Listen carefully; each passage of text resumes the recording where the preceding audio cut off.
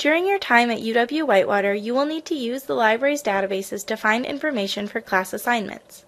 The library provides access to peer-reviewed articles, newspapers, industry reports, consumer data, and more. In order to access the library's databases, you will need to click the Articles Databases tab on the library's homepage. You will be taken to a page that lists all of the library databases in alphabetical order. Just click the letter that the database name you're looking for starts with. Or you can click Business from the Databases by Subject box to view a list of databases that are used for business research.